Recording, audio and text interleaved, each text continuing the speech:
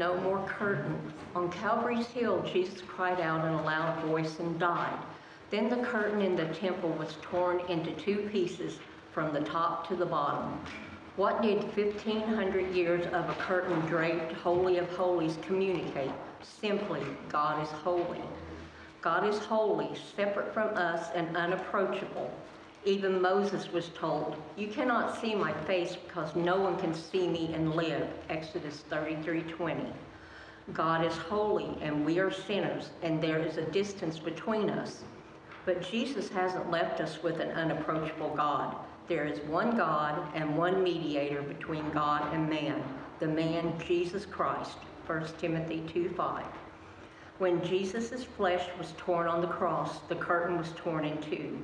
With no hesitation, we are welcome into God's presence any day, any time.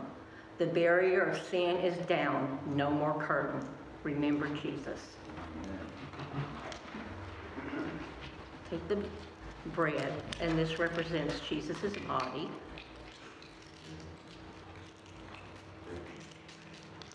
And the juice represents Jesus' blood. Shall we pray?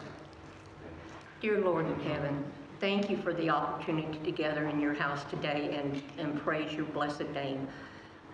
And thank you that you rose again for us. To, and we know that you're always there for us. And if we ever are in need, all we need to do is ask, and you, you will answer. May not always be the answer we want, but you will answer. We, we thank you for the people that are here today, and please bless the ones that were unable to come, that for whatever reason, that you'll watch over them and guide them through this week. And be with each of us as we go through this week, that our lives may touch someone's heart that we don't even know that they need. But you know their need, and if we are there and you use us, that will be a blessing to you. We ask this in your name. Amen.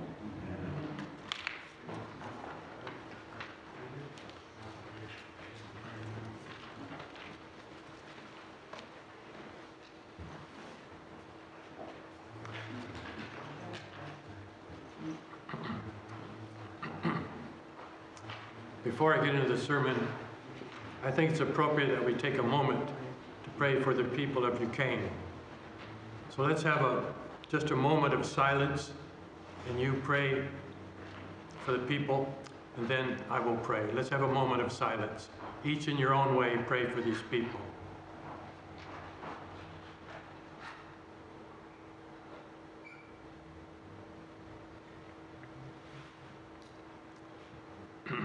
Dear God, we pray for the people of Ukraine, for all those suffering or afraid or hungry, that you'll be close to them and protect them. We pray for world leaders, for compassion, strength, and wisdom to guide their choices.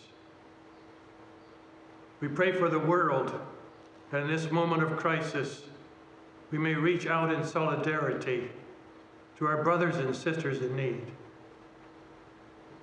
May we walk in your ways so that peace and justice become a reality for the people of Ukraine and for all the world. In Jesus' name, amen, amen.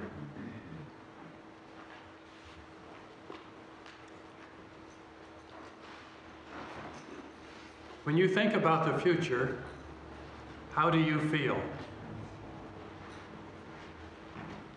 For most of us, when we think about the future, it brings all sorts of feelings worry, anxiety, hopelessness, frustration. There are lots of good reasons to feel that way. A global pandemic virus, wars, sickness, death, and so on. Events and thoughts like this make us ask ourselves some scary questions. Questions like, do we have any real security in this life? What does the future truly hold for us? Can we find freedom from fear, anxiety, and worry? What if I told you, because of Easter weekend, the future is full of hope? We're going to look at a short passage from the book of Colossians. If you'd like to turn to Colossians. In it, the author, the Apostle Paul, is going to tell us three reasons the resurrection of Jesus Christ gives us a hopeful future. Colossians chapter 3, I'm going to read the first four verses. Since then, you've been raised with Christ. Set your hearts on things above. Let me repeat that. Set your hearts on things above, where Christ is, seated at the right hand of God. Set your mind on things above. Let me repeat that. Set your minds on things above, not on earthly things. For you died, and your life is now hidden with Christ in God. When Christ who is your life, appears, then you also will appear with him in glory. The future is hopeful because we set our hearts on things above. That means to put heavenly priorities into daily practice. We are to get our directions from Christ, not the culture around us. Setting our minds on things above means concentrating on the eternal rather than the temporary things. It provides the antidote to an empty life because following Christ means loving and serving those in the world. Regard the world around you as God does. Then you will live in harmony with Him and see others as God does. The Apostle Paul says in Colossians, Our bodies will be made new. We'll experience a resurrection too. I don't know about you, but as I get older, I'm looking forward to an upgrade on my body. I'm tired of my health issues. How about you? Apostle Paul says Christ's resurrection is your resurrection too. But what does the resurrection really mean? Christianity is all about the life, death, and resurrection of Jesus Christ. When we talk about the resurrection, we mean something specific. Jesus rose bodily from the tomb, not just his spirit. After the crucifixion, when people saw Jesus, his risen body, they touched him, flesh and blood, scars and all. And people talked with Jesus and even ate with him after the resurrection. It was his same body, but new and different. Our resurrected bodies will be the same. They will be real. Theologically, the resurrection of Jesus is important for several reasons. First, it confirms his deity. Jesus was not only a man, he was God. Jesus was God incarnate, God in the flesh. Christians have always believed that Jesus was 100% God and 100% man at the same time. Lots of religious figures in history claim to be God, but only Jesus proved he was God by raising bodily from the grave. Second, the resurrection of Jesus was a public display of God's victory and triumph over three great enemies we have. Those enemies are sin, Satan, and death itself. Because of the resurrection, sin no longer has any power over you. Satan, the enemy of your soul, has been defeated.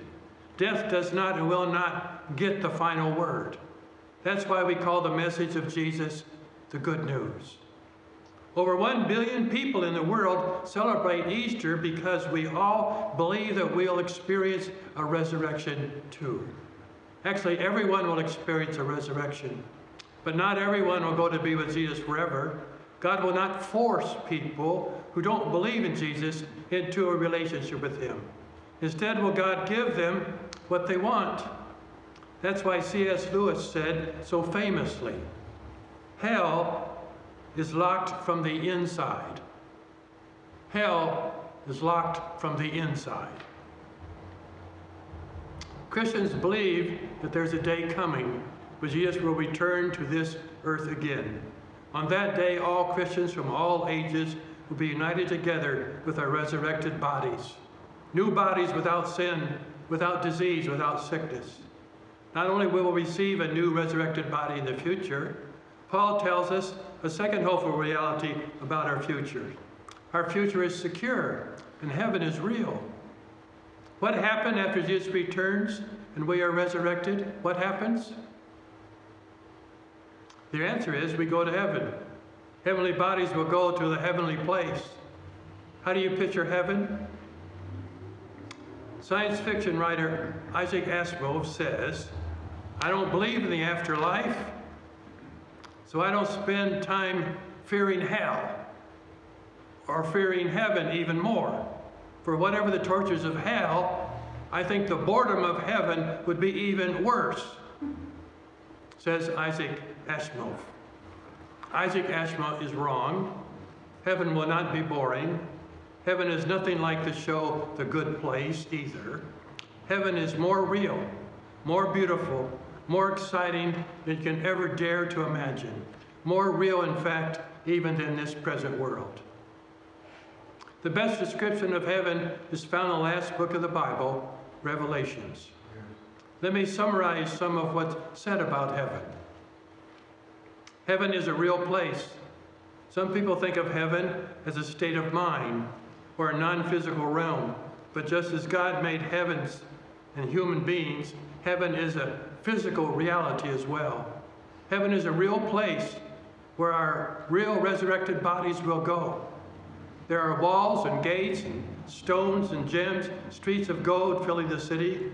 There are fruit trees and animals and a river. If heaven is real, then where is it? The Bible tells us heaven will come down to earth.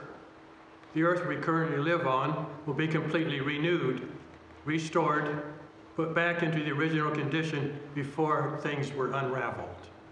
Imagine the oceans with no pollution. Forest with no fires.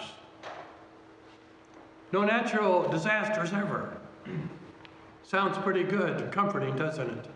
All the animals of the world and none of them will attack us in heaven.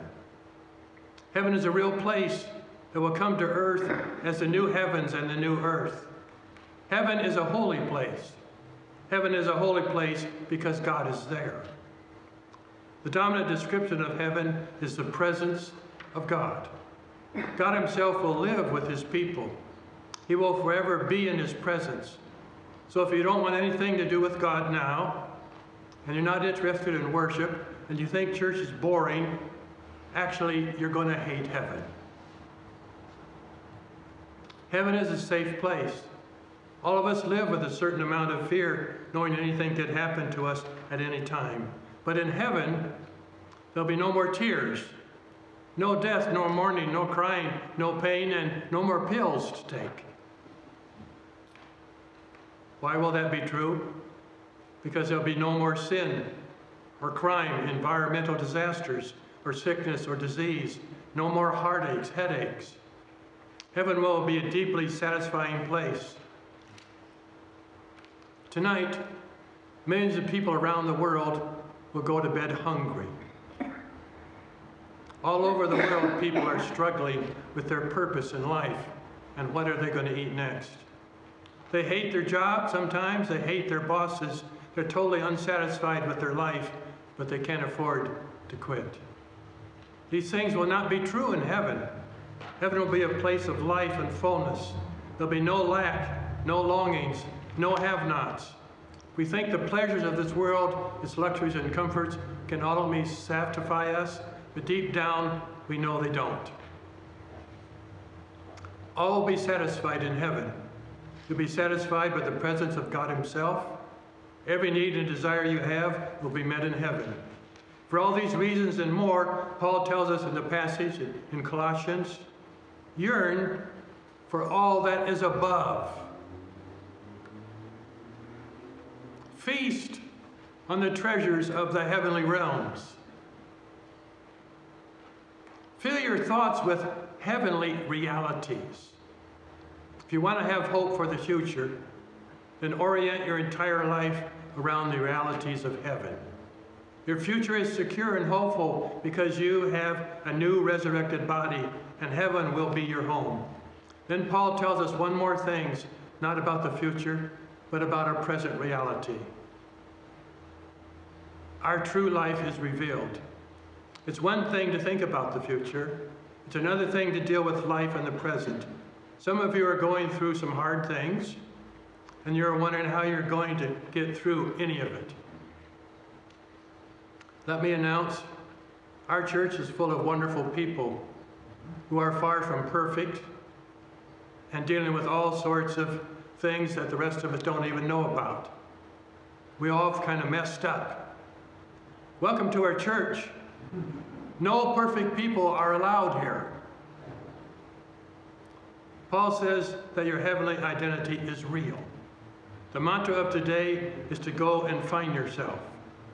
Culture says we find our identity by discovering your sexuality, your career, by making your mark in life.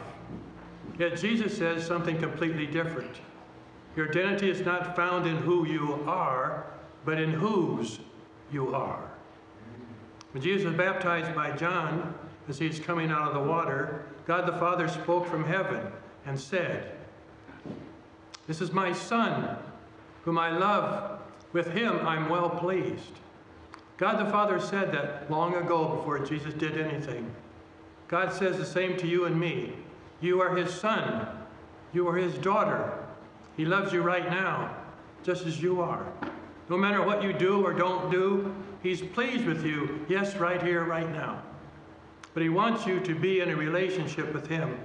It's not what you do that defines you. It's not your job. It's not who you marry, where you go to school. It's not your hobby. What defines you, where you find true life, is in a relationship with Jesus Christ. Like I said, it's not who you are, but whose you are. I've been to Mexico three times. When I lived in Minnesota, I was in Canada several times. I was at the Caribbean one time. But no matter how bad or how good or how wonderful the other places are, my passport says I belong to the United States of America. That's what Paul is getting at.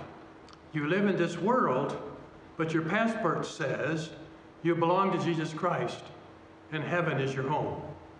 Because of the resurrection, your future is secure. You're going to get a new body, praise the Lord. You'll be in a wonderful place called heaven. You know where you know who you are. You're with God in Christ.